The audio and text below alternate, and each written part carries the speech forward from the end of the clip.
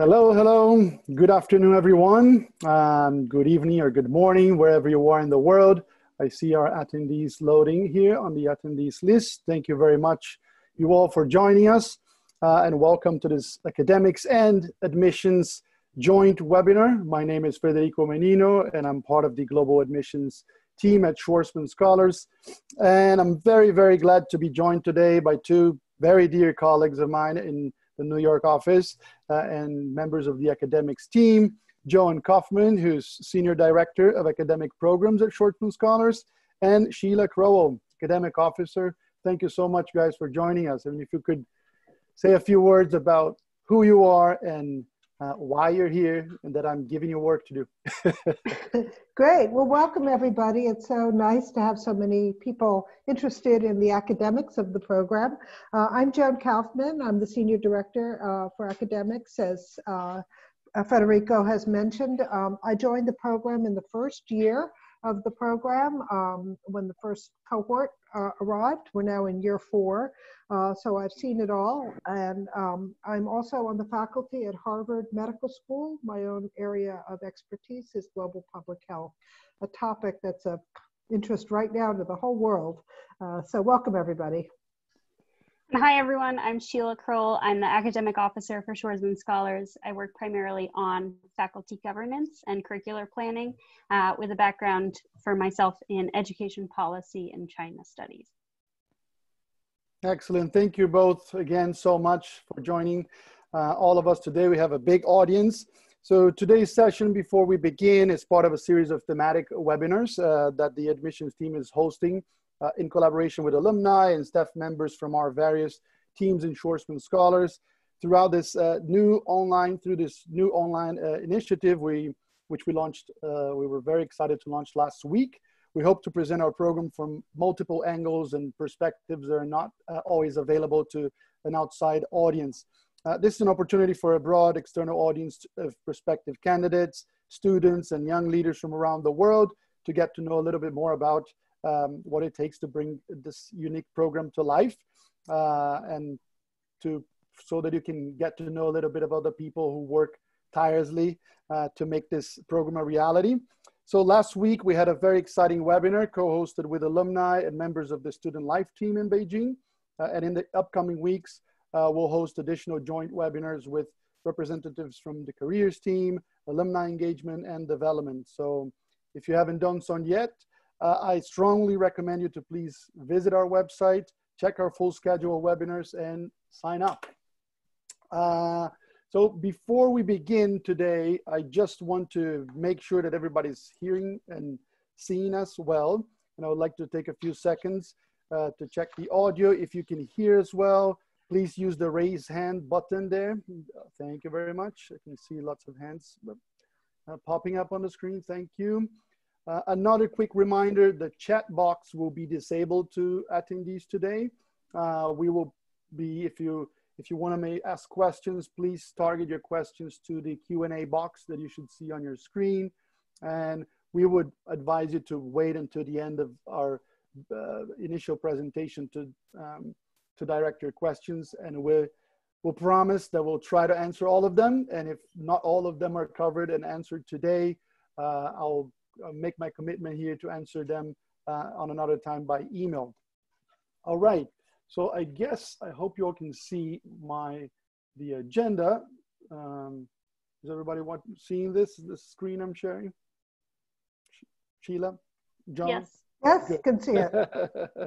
so without further ado, I just want to welcome everyone again and give you a quick overview of what we, we plan to cover during this session. In the next 10 minutes or so, Joan and Sheila will give a very introductory overview and presentations uh, of the main highlights of the program. Uh, and we'll then move to a conversation about the academic experience at Schwarzman College. And then we'll end up with a few reminders about our admissions process. Uh, we're very excited that next week, just in about uh, one week, we're in a one week countdown now for the US and global application launch next week. So, and then we'll open for questions. Uh, we'll have quite a, a, lot of time in the end of the session to address your questions. So Joan and Sheila, the mic is yours. Thank you very much, guys, again. Thank you very much, Federico. So let me provide a brief overview of the uh, curriculum and of the uh, master's degree in global affairs, which is what our program is about. Uh, first of all, we uh, started the program. It was launched in 2016. It's really a unique program. Uh, it fills a niche which is really about uh, a, the need for a greater understanding of China in global affairs. China, of course, is a rising, or you could say risen, global power. And um, our program is really focused on training future global leaders who, throughout their careers, can serve to deepen understanding between China and other key global actors. Uh, so, uh, you know, for us, the um, program, um, what I do need to say is that this program is, is um, based at Tsinghua University, which is China's leading university. Some people could say Beijing University might be, but it's one of the top two for sure. Um, it's therefore a very rigorous academic program. Tsinghua is a hard university to get into for Chinese students, and it's a tough place. It's a demanding and rigorous academic experience. Um, our program, um, we have our newly built Schwarzman College, and most of our teaching is done in-house in English, although Tsinghua University itself has 21 English language master's programs. The degree comes from Tsinghua University. It's called a master's degree in global affairs. Um, and um, for us, it consists of a core curriculum. Uh, the three pillars of the curriculum are China, global affairs, and leadership. Um, and for each of those, we have uh, core required courses. Um, and that ha was, uh, uh, has been revised uh, since the early days of the program, and our new curriculum, our new core curriculum was just launched this year. Um, it consists of a two module course uh, in global affairs. That's a semester long course in global affairs that focuses on current and emerging issues in global affairs. Uh, a ch core China course called 40 Years of the Chinese uh, um, Economic, Social, and Political Reform, which uh, brings every scholar up to date on the remarkable uh, trajectory of the China um, global rise over the last 40 years. Uh, and then a leadership core, set of leadership courses, uh, which we'll tell you more about as well. So everyone comes out of the program with those three pillars. In addition to that, we have quite a few elective courses um, that come largely out of the fields of public policy, economics, and international relations. And they, uh, but increasingly, where those elective courses are aimed at building out the new core curriculum on emerging and current issues in global affairs and China's place therein. Um, we also have a, um, uh, uh, a, required Mandarin language training um, uh, requirement, which is one module, uh, but we offer Mandarin language training uh, throughout the entire academic year. Um, we have um, the, the program is uh, uh, arranged around four academic modules over the course of the year, each one roughly equivalent to half a semester.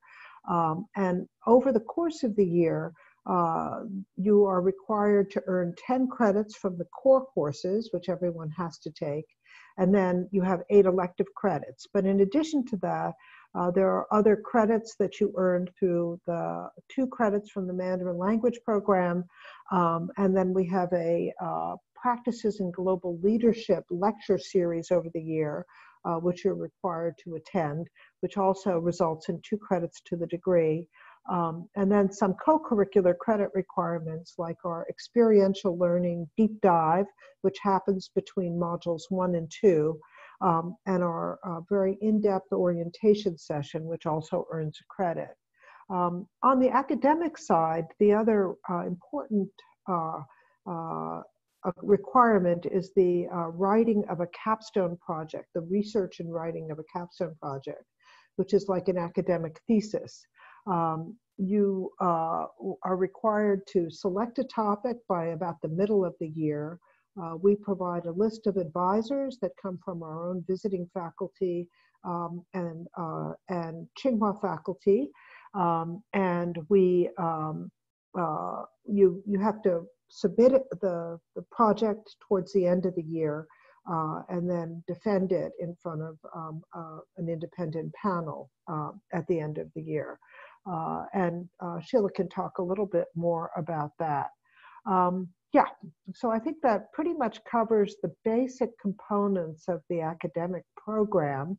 Um, and um, yeah, uh, and Federico, you could move to the next slide now. Um, so let me just say a little bit about our faculty and who they are. We have uh, we have been very lucky to be able to recruit a really unbelievable set of people to come teach at the Schwarzman Scholars Program. Uh, these visiting faculty, and these are this these are an example of some of them. Um, you know, we have about 30 to 40 faculty who come over the course of the year. Our approach is to have, uh, you know, 50% or so to be internationally recruited visiting faculty and 50% or so are Chinese faculty. These provide, uh, these faculty, often teaching in the same course, provide balanced perspectives on China's, China from China's point of view and China from often from the global point of view. Um, but let me just highlight some of our amazing faculty. Uh, Susan Shirk, who's uh, the chair of the 21st Century China Center, um, at UC San Diego and was the former Deputy Assistant Secretary of State uh, in the Bureau of East Asia and Pacific Affairs, has been teaching a course on Chinese political institutions uh, since the beginning of the program. Gao Xiqing was the former president and chief investment officer of the CIC, the China Investment Corporation. He's on the faculty of Tsinghua's Law School and he teaches a course on basic legal issues and cross-border mergers and acquisitions. You're never going to find anyone more knowledgeable about China and uh, the uh, global regulatory uh, financial world than Gao Xiqing. Karl Eikenberry, former U.S. ambassador to Afghanistan and uh, five-star uh, retired Army general, uh, who teaches a course on leadership and diplomacy and security as one of our core leadership courses. Um, Catherine Morton, who is our first permanent faculty appointee and is our professor of global affairs at Schwarzman College, uh, responsible for our new core course on global affairs. Um, she's a global expert on China and global governance. Uh, and, uh, you know, we're really lucky to have her. And this is just a representative of uh, representative sample of the amazing people who teach at the Schwarzman Scholars Program. So next slide, Federico. Over to you, Sheila. Thanks, Joan. So I'm just going to walk through a bit more about our core curriculum. So as a master's program in global affairs, a central purpose of the Schwarzman Scholars Program is to form the next generation of global leaders. So each aspect of the Schwarzman Scholars Program offers students the opportunity to develop and enhance their leadership capabilities. So leadership is therefore a key component of our core curriculum, and we offer leadership coursework that reflects different professional backgrounds as well as a diversity of personal backgrounds. So within our coursework, each student is required to take at least two courses in leadership, which can be selected from two different types of classes. So one type of class is our five leadership courses, which are full module courses and focus on leadership within different sectors. So we have courses that focus on leadership in business, leadership in the public sector, um, in diplomacy and the military, leading in public crises and emergencies, as well as leaders and leadership throughout history we have a second group of classes that are our leadership and practice courses. So these are taught by practitioners from different fields. And the courses themselves are focused on gaining insight from the experiences of these practitioners.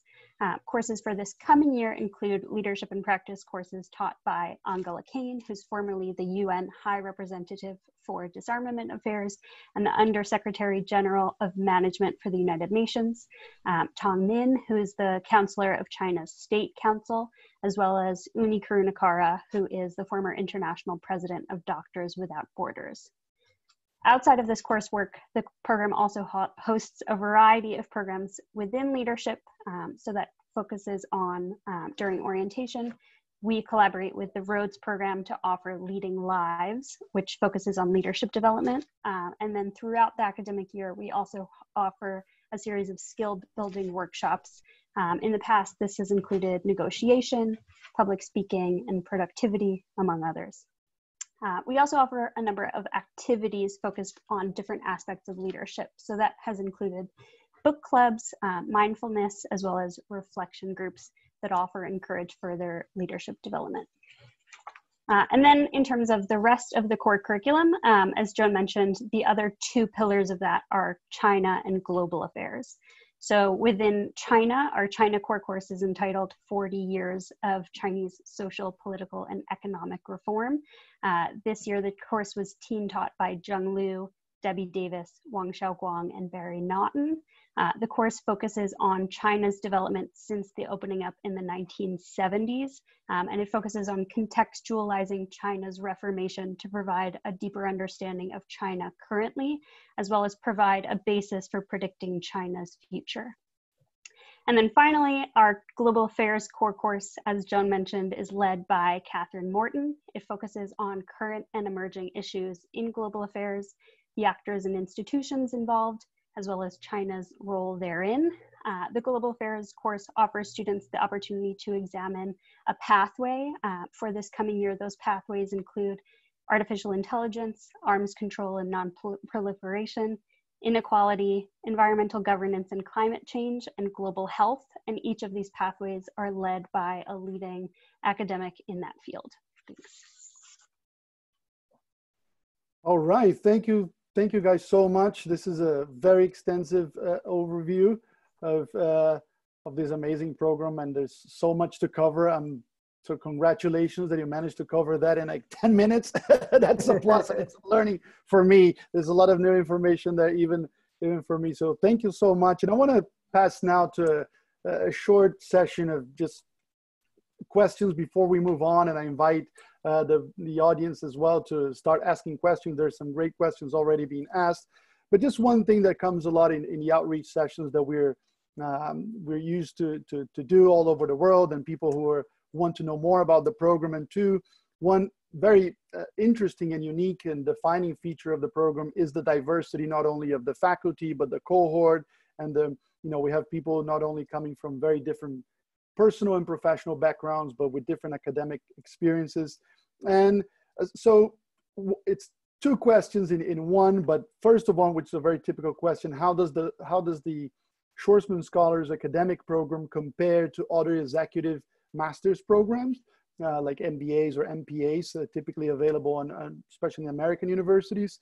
Um, and also, in a way, how do is the program equally suited for students who are in different academic courses, people who are in the humanities or engineers or uh, medical field. So how would you answer those two very broad questions? And thank you again to both. Yeah, I, I'll take that one on and I'll just say that, um, you know, we're not at all, we're not the same as a master's in business administration, a master's in public policy, or a master's in international affairs, or an executive um, training program in any of those areas. We are a unique niche, which is about China and global affairs and leadership. And our courses, and especially our new core curriculum, is directly focused on that. I think in the first couple of years of the program, um, because we had, we previously had three concentrations that were international affairs, public policy, and economics. Um, we had to deal with that very question, which was, were we offering a competitive degree if you chose that concentration?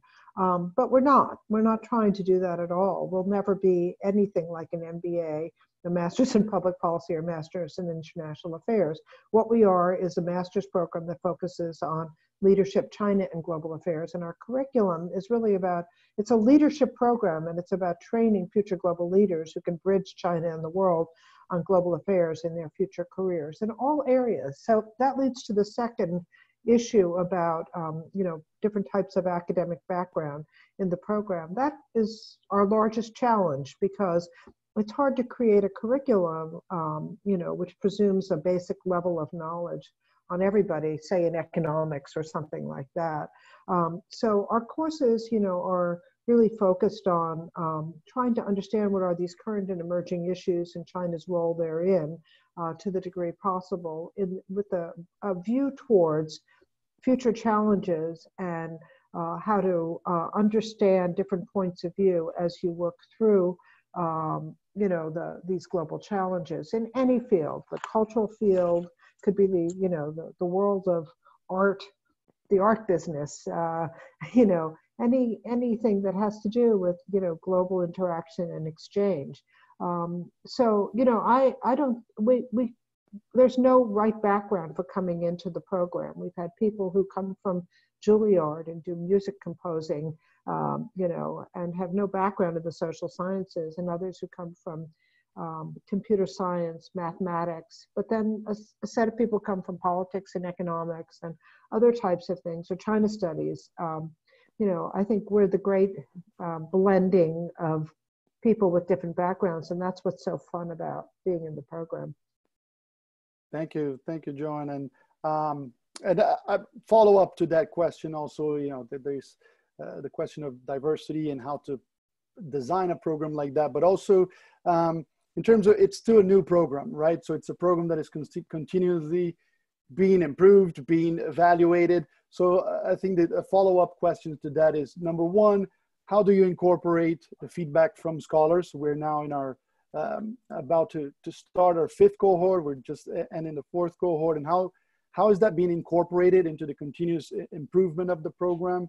Uh, and if you could, you mentioned Joan uh, in the initial presentation about the new uh, global affairs curriculum, and I know you know from people who are probably watching us today have no idea of all the work that happens behind the scenes to make that happen. Like the people who are consulted, the institutions who were involved in discussing that and making this program uh, relevant not only to the students but in a world that is uh, constantly changing.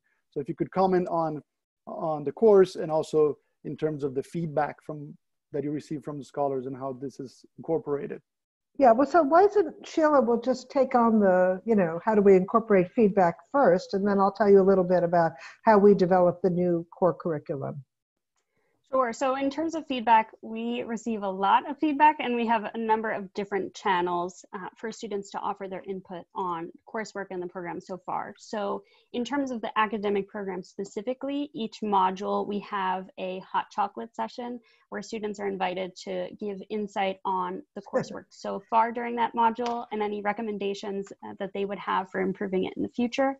Um, in terms of student government, there's one representative on student government that specifically works with the academic program uh, and is also a conduit for gathering that input.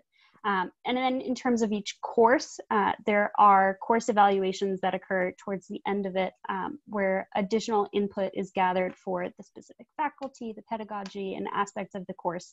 Um, so there are a number of formal channels in place, but I would also say that there are a number of opportunities for informal input um, based on coursework and your experience within the academic program. And as Frey and I'm sure Joan will expand on, uh, since we are a relatively young program, we also have the benefit of being dynamic and to respond to feedback each year. Uh, and I would say that we're very intentional about the way that we do so. Great. Well, I'll take on the second one. And just to follow up on that, I often joke that I can't wait until we do the same thing two years in a row.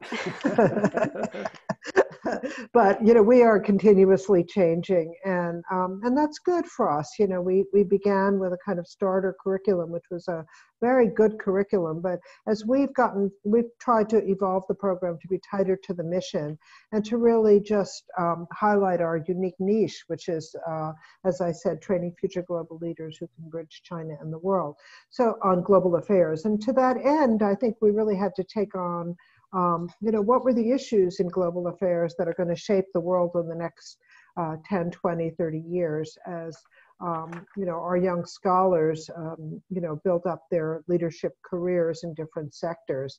So to do that, um, which was super fun, but a lot of work, we mm-hmm. organized a series of roundtables around the world with leading global experts. Um, this was a, at least a one-year process. It took us, you know, a while to sort of think through where did we want to get and then figure out how we were going to get there. And we had the advantage of being able to you know organize these roundtables with leading ai experts you know the dean of cornell tech who's now at mit leading the new schwarzman college of computing other people leading um, global health, health experts. We organized a roundtable in seattle on the future of medicine uh, looking at genomics and other stuff. And we just we did this in London. We had two or three. We had LSE at Oxford, where we really Um, and of course, in China, Tsinghua hosted a roundtable, and we really just tried to gather from the experts not only what were the major trends and issues that were going to shape the world in the coming decades across areas like the ethics of AI and other things like that, privacy issues, big data, but also how do you teach it? Uh, you know, how do you teach these things? Um, so that we boiled down, and that's, you know, basically the first shot at the global affairs course this year in our new curriculum. Um, and we're constantly refining it. You know, those five pathways, which uh, Sheila described that we'll be offering this year are slightly different from last year, but they represent some of those leading issues. And the idea is to really think about what are the global governance requirements? How, should, how does the world need to work together to solve these problems going forward or to collaborate going forward? So that, that's a little bit about the new curriculum. And we're constantly changing, always open for input, and especially how to teach it. Thank you, thank you. Yes, it's uh, that's a good good panorama. We, we observed from the outside of the uh, incredible work of the academics team and in devising and discussing that. And I think on the topic of a constantly improving and a constantly changing program too, I wanted to direct a, a question that comes to us quite often as well, which is about the capstone project. It's a distinguishing feature of the program. It is a requirement for all students uh, to graduate from this master's degree. And it's also something that uh, had some changes from years before to this year. So if you could tell us a little bit more about this particular component of the academic program uh, and what is implied. I know that you presented a little bit in the beginning, but people who are watching us today a little bit more curious and perhaps some examples of even awarded uh, theses that we had in the past and very diverse um, themes that were explored during this capstone projects. Sure. So just to walk through a little bit more of the specifics around the capstone. So it's uh, sort of similar, though unique, to a thesis project um, in which a student works with a capstone advisor um, who is either a faculty from Schwarzman College or one of our faculty partners from Tsinghua University. Um, the capstone itself can take three different formats. So you can either choose to do a policy brief, um, a research paper or a case study. Um, and so in the past, um, capstone projects have focused on things as specific as hukou reforms in Yunnan province um, and as sort of grandiose as US-China relations in space.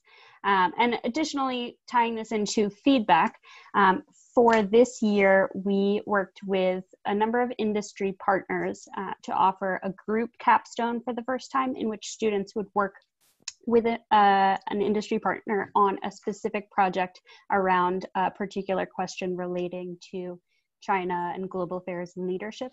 Um, this year, we've had industry partners such as the European Bank for Reconstruction and Development, um, as well as VIP Kid. Uh, and so that has been an exciting opportunity for students to work within a particular business or organization on a very tangible uh, project. Uh, Joan, do you want to you want to add something or? Not really. I think there was a question in the um, chat in the questions and answers about uh, how the um, the um, uh, capstone does the does do scholars work with individual capstone advisors to develop their own research project over the years? And yes, the answer is yes. These are individually decided and designed uh, topics. Um, you figure out what you want to work on. We help match you to an appropriate advisor. Well, we don't match you, we just provide a list of all the advisors and their expertise, and you select um, and apply to work with them. And um, yeah, and that's how it works. They work with you over the course of the year on your topic. Um, it's totally individual and it's totally based on your own interest. Um, and we've had some really remarkable ones, um, I have to say. Um, I've learned a huge amount. I read many of them over the course of the year in addition to advising them, and I've just learned so much. Uh, um, they're a fabulous opportunity to go deep into a topic um, of interest to you that relates to the theme of global affairs, China, and the world. Um, no, that, that's great. I just want to follow up with this. We, we are receiving quite a lot of questions, so I de definitely want to open to, to that. And some of the question relates exactly to the issue of the academic support, not only in terms of advising to the capstone, but also uh, the online resources or library resources at Tsinghua. So if we could talk a little bit, if you guys could talk about the what is available uh, to scholars from an academic standpoint. It is also, I think, interesting for people to know the role of um, the postdocs and the, the assistant uh, faculty who's also at the college, and also more broadly, the resources available and how, to some extent, the academic experience at Schwarzman College is integrated to the overall uh, experience at, at Tsinghua University. Uh, well, I can certainly say that, you know, in terms of, you're a you would be a full, fully entitled Tsinghua student with access to the library, the online library, and everything. Um, there are quite a few resources available in English. It's a very complete library. We have our own Schwarzman College library, which is an English language library. Um, and um, uh, yeah, it's just, you know, it's a leading global university with all the resources you get from a leading, a leading global university uh, journals uh, and other stuff through library access. We also have a postdoc program, which we began in the second year. Uh, we have, uh, last this current year, we have four residential postdocs who live in the college, uh, internationally recruited, um, who provide, um, you know, support all around, especially to the large core courses.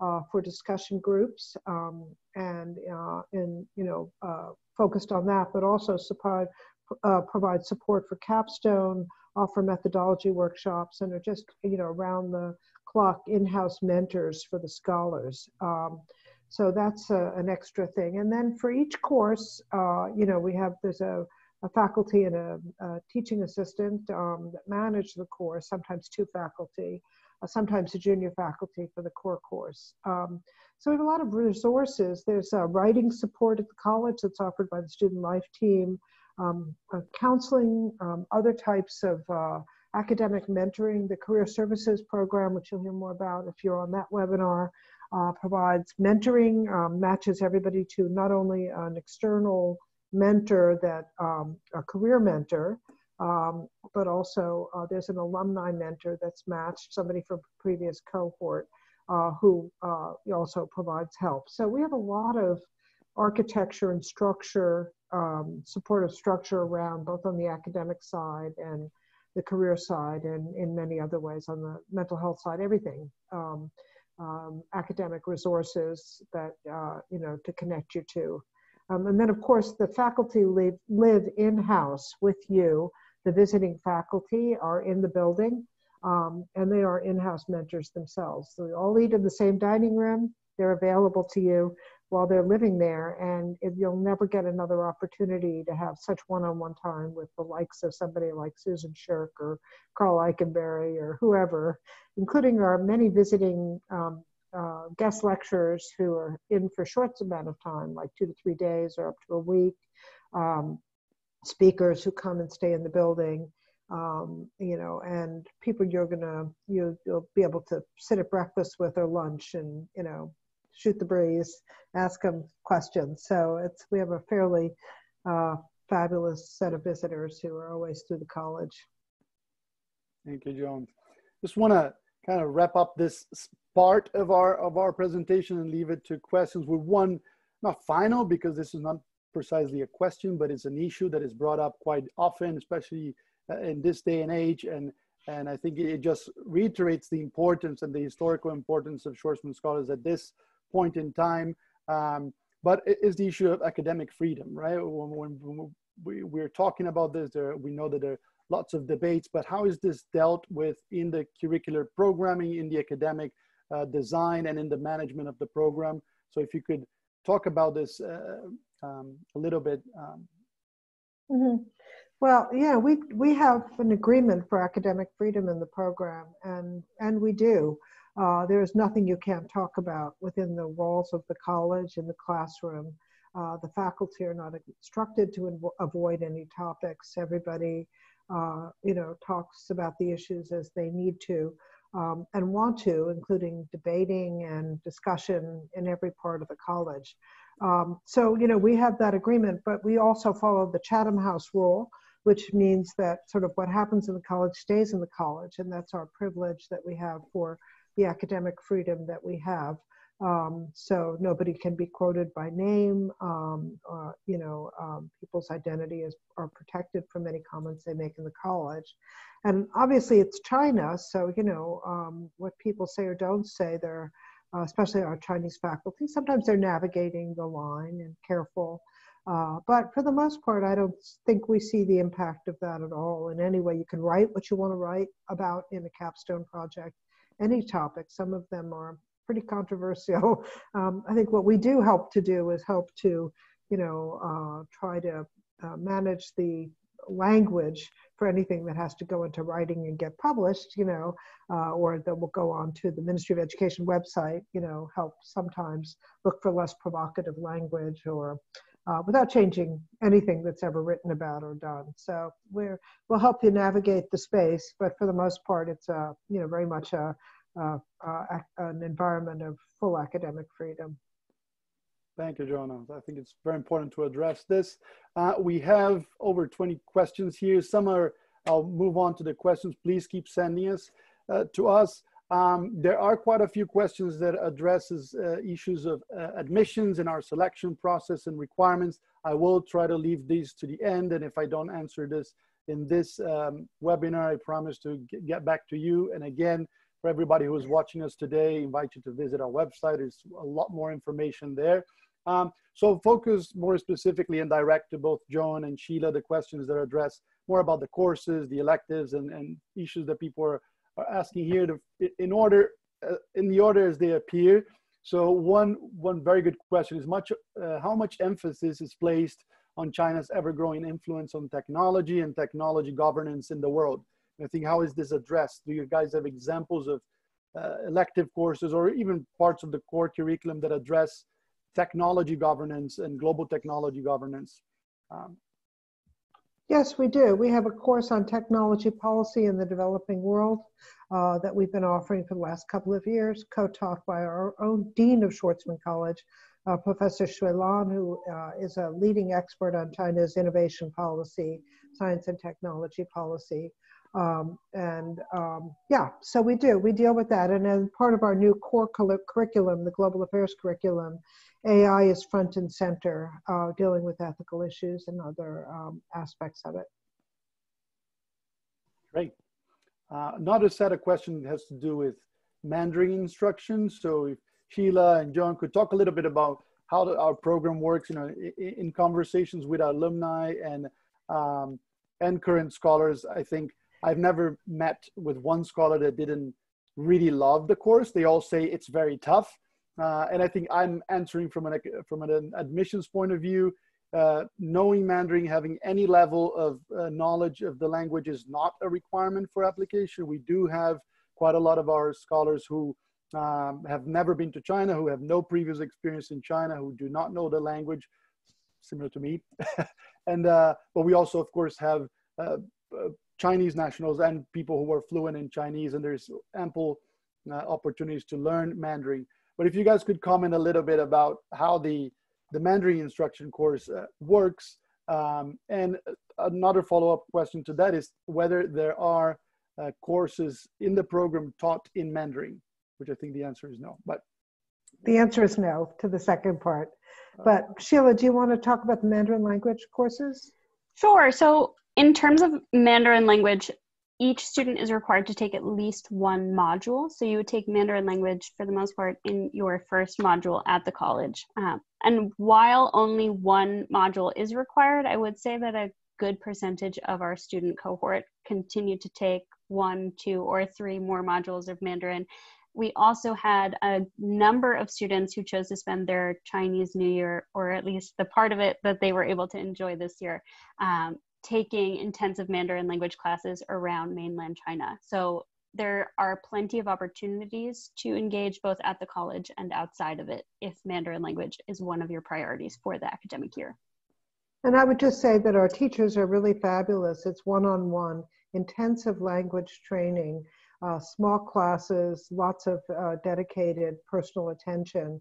Uh, it's an in house Mandarin language program, and it's really fabulous. No, yeah. yeah, there's lots of compliment, and I think if there's an opportunity to learn Chinese, and uh, I think there are classes every day, and it's, it's quite a quite a demanding program. Moving on, I think they're uh, trying to kind of curate the questions here, but you guys feel free to, Sheila and John. I think you have access to, to the questions, but I think there's um, some question related to the coursework specifically and how rigorous is the uh, the grading system at the college and how much time people have to devote to classroom, but not only classroom, you know, study-based and research-based activity. Uh, and I think another way to ask this question, sometimes we receive that on the road that we people ask us, is it possible to do this program together with working part-time or doing another program at the same time, which I, I think it's really not possible. It's a really full dedication and full-time dedication program. But if you guys could comment a little bit about the, the level of rigor and what is uh, expected in terms of uh, coursework and classwork time dedication. Yeah, well, it is Tsinghua University. It's a rigorous academic environment. As I said earlier, it's you know China's top university and very very competitive to get into it. And they certainly don't lower their standards for the Schwarzman Scholars Program. It's hard, rigorous academic program, and no, you really cannot do anything else when you're doing the program. Plus all the experiential learning stuff that we is a you know a, a critical part of our program. So you know, you will spend a lot of time in classes. It's four modules. Uh, you have to meet the credit requirements for the degree uh, from the university. Um, but in addition to that, we really have a fabulously well curated set of experiential opportunities for you, including the deep dive um, you know, the opportunity for internships, the mentorship program, the capstone research, and other ways that you get out of the college. We have a deep dive series, which is full of excursions on a weekly basis around Beijing, um, and many, many other opportunities for the experiential learning. But you can't hold down a job while you're doing this program. It's a most master's programs in China are two years programs. Ours is a unusual one-year master's program, but that means you have to do the capstone uh, so-called thesis, you know, in the same year that you're doing an intensive set of courses. So between the capstone and doing that in the one year, um, plus the set of courses and the other requirements that you have, you you can't do anything else. So set your expectations appropriately that you will be working hard, but it's worth every moment of it. Thank you. Uh, let's see here. Um, well, there are questions also, and uh, again, uh, I'm trying to target the questions to the people in the academics team. There's quite a very good questions about alumni engagement and how alumni keep engaged in the program. And what I would say uh, as of now is we will have uh, next week actually, uh, or the following week, a another webinar dedicated specifically uh, in which a member of the admissions team will be talking to someone from the development and alumni teams so I invite you to direct those questions to them. I think it will be great to hear directly from the people who do that um, on, a, on a daily Federico. I would just add one quick thing to that sure. about alumni engagement in terms of the feedback that we discussed previously uh, for student input in terms of recommending curricular changes to better reflect student interest.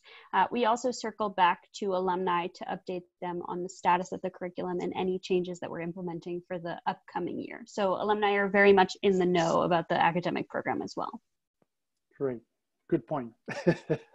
uh, there are also, uh, in terms of, um, there's a good question here about, I, I, think it goes back to the academic culture and pedagogy. So how do you account for the different cultural contexts of learning?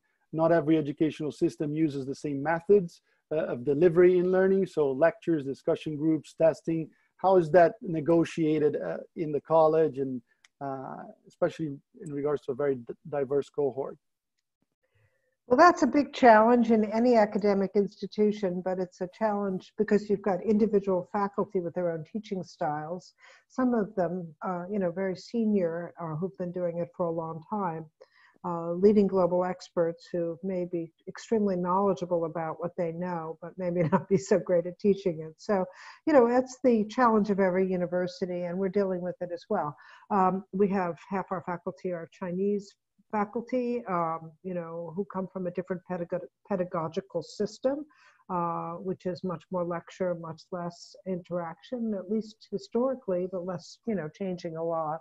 Um, and a diversity of international faculty, some who are younger, some who are older, some who have, um, you know, um, different types of teaching experience. So uh, the way we try to equalize it all is with feedback and a certain amount of um, guidance from the academic office on you know the um, that all courses need to uh, work towards uh, at least part uh, so at least half the course should be discussion. Um, and we have our teaching fellows who break the larger courses down into smaller discussion groups um, so there can be more critical learning. Um, we limit uh, the amount of, of reading material that can be presented uh, you know to each uh, for each class uh, recognizing that English is a second language is true from, you know, at least 60% um, uh, of the cohort that isn't the 40% from the US. Uh, and, and then we also have a in-house pedagogy initiative. We work with a leading center for uh, teaching and learning um, at a major university to help guide us in pedagogical improvements. We train our faculty, our teaching fellows. We provide teaching tips um, in our uh, you know faculty newsletter, and we have a variety of different ways in which we strive to improve the pedagogical approach of the cap of the uh, Schwarzman Scholars Program. In terms of small size versus large si large size courses, um, we have about 30 35 courses at the college. Uh, and some of them are more popular than others. So, you know, most of them are in the, you know, probably 20 so range, but uh, some of them are larger. And those in those cases, we provide teaching fellow support and uh, you know strong um, support for breaking down into discussion groups and to make for a better learning environment. Great. We're moving to the end. We have like about five five more minutes or five or ten more minutes of questions. I'll address a few. Uh, it's clear that the core structure of the academic program is around China, global affairs, and leadership. Uh, but what would you say are some of the specific takeaways scholars will take away from the curriculum as they progress through their career? So basically, I think commenting on particular skills, scholars are coming from very different walks of life and in different points of their academic and professional career. But what are some of the core uh, principles, skills, knowledges that uh, scholars take away and use in their careers? Uh, and I think connected to that, the following question is about if there are additional research opportunities for those who are, I think, in a more academic path and maybe see this master's degree as a stepping stone for a future PhD degree or to work in the academia, if there are uh, additional research opportunities uh, within um, the, the one year experience at the college? Um, well, why don't I take on the, the, the last is, um, I can just answer and say, not really, but, you know, I think beyond the capstone, you can reach out and, uh, you know, potentially work with your uh, capstone advisor, uh, you know, on further research if you're interested. We don't provide further research opportunities within the program specifically. We're very focused on the, um, the curriculum and the capstone itself. Um, you know, what are the takeaways from the program? I think they're the, the, you know, they're what we're our niches. I think you come out of it with a huge amount of leadership training, uh, which is a hard thing to do. I mean, what is leadership training? But we have a multi-dimensional approach to that, which is, I think, fairly um, robust and uh, fairly unique. You know, it's not only the coursework, which is based, as Sheila said, on sectoral interests. You know, if you're going to be a leader in a public organization versus in a private, you know, company. Um, but, you know, it also provides the experience of leaders in different sectors, plus a lot of personal leadership development uh, through personal leadership style assessments, um, through the book club, through journaling, through reflection, through a lot of, through orientation with the Rhodes program, our partner for our orientation leadership workshop. Um, you know, so there's a lot of the, the leadership training aspect of it is truly unique, I would say, and very robust. Um, you come out of it really understanding China, I think, through this new China core course, the remarkable rise of China you know, since the opening, beginning of the opening up period. No scholar gets out of the college without fully understanding all the, the pros and cons of that, I would say, the, you know, how it happened and the trade-offs and the way it was done. Um, what does it mean for the world? And then I think also with this new global affairs course, you really understand um, global challenges um, and China's place at the table on those.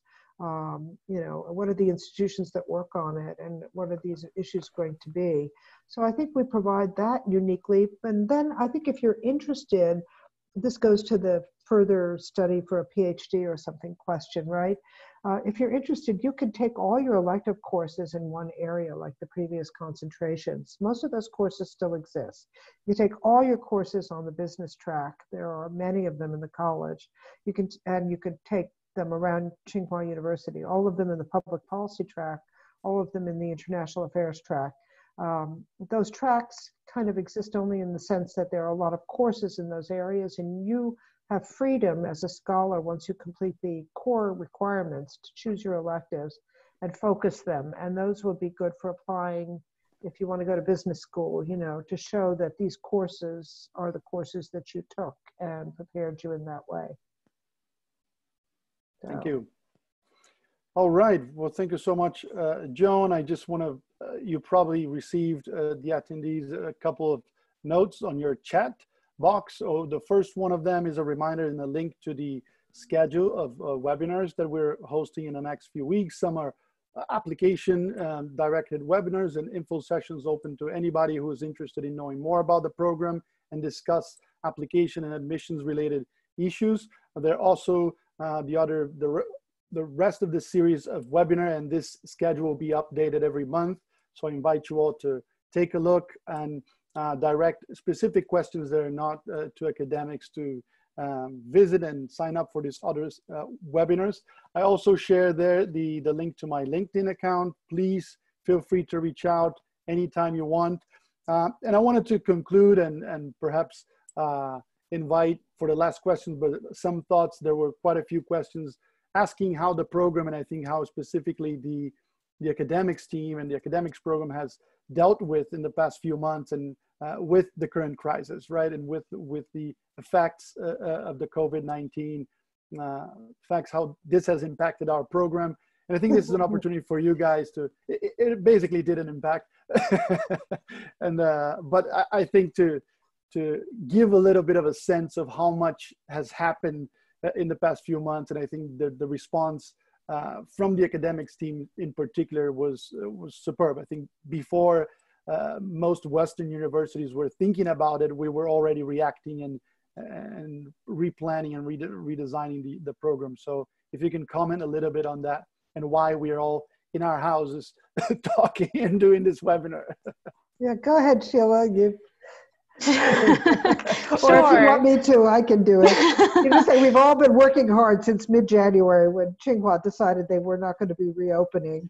Um, you know, for the second semester. So over to you, Sheila. Yeah. So for context, uh, we had, I suppose, the benefit of being impacted much earlier. We are about a month and a half into, sorry, two two and a half months into our response, uh, we found out that Tsinghua was closed um, and would delay its reopening at the end of January. So our third module began just after the scheduled end of Chinese New Year. So we began our online coursework uh, around February 20th.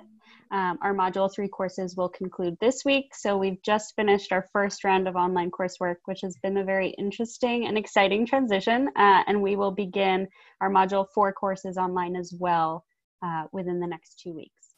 Yeah, so we had to do that. We, of course, had no experience really with online platforms because we're the Schwarzman Scholars Program at Tsinghua University. So we had to figure out what to use. Uh, and then once we did that uh, with a lot of help from many um, leading academic institutions around the world, uh, we trained our faculty and our students to use those platforms, put all the courses online, scheduled everything, um, you know, so that it worked in the time zones for our scholars. I think the very first thing we did was get our scholars somewhere safe from wherever they happened to be on the winter holiday break. Um, everybody uh, was, you know, flew home to someplace safe or someplace where they could, you know, hunker down, like all of us. And um, uh, and then, you know, we had to schedule according to all the time zones and the faculty time zones and um, which we did, I think, very effectively. We launched on time, as Sheila mentioned, around February 17th, and um, it's been going pretty smoothly. I mean, we have taught all our courses for Module 3 online and about to launch Module 4, and then an online process for the capstone uh, project with uh, remote defense panels and that kind of stuff. It's taken quite a bit of work, though, I would say, and um, you know, hardly ideal because so much of the experience is the cohort experience of being together at the college. So uh, we're trying, we're doing quite a bit of online programming, uh, events programming um, through, you know, webinars, through Zoom, um, you know, with some of the speakers we would have had to the college and certainly some sessions on COVID-19 uh, by some leading scholars, you know, speaking from their living rooms like us. Uh, so, you know, we've, we've tried to respond uh, with good programming. Great, Ron, thank you. Thank you so much.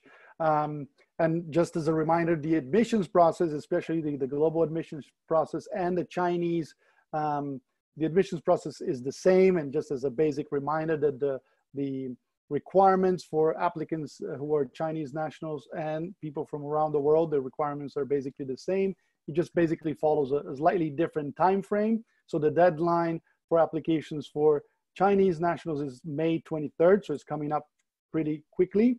And we are just about to launch the US and global application cycle next week. This has not been affected, so uh, pay attention, stay, stay tuned, and use this time to prepare your application.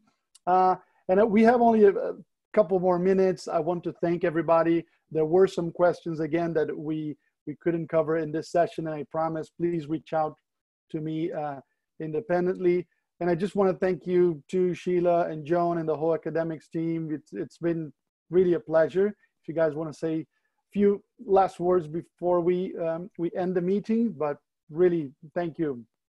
Yeah, it's great to have the opportunity to talk about the academic program um, you know, and uh, introduce it to you. I think we're really proud of what we've achieved so far, but we're a complete learning organization evolving very quickly. It's the early, still the early days of the program, and uh, we operate kind of, uh, you know, in a continuous change mode, which is a good thing, I think. Um, for the academic questions that you asked and which we weren't able to answer, Federico can, you know, we can help reply to those, um, you know, in whatever fashion is the most efficient. So uh, sorry we didn't get to all of them. And it's really nice to meet you. And I hope we get a chance to meet you in person that you apply to the program. And, um, and you know, we get to get to experience this on the ground.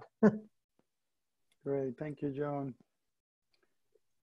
Sheila. I would just add thank you everyone for attending. If you have any specific questions or want more information about the courses that we've offered for this previous academic year or the course overview, I would encourage you also to check out the Schwarzman Scholars website, which provides more information on our coursework and our faculty as well. All right. Well, thank you everybody once again. I think this was a really, I mean, I enjoyed it a lot.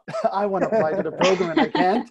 Uh, I learned a lot. So I think this, uh, we, we, you know, we accomplished our purpose in, in, this session. It's really a pleasure to be sharing this uh, with you guys and having the, the inside information that only you guys who work with this every day can provide. Um, thank you again. And well, until see you another time. Thank you. Bye. Bye. Thanks everyone.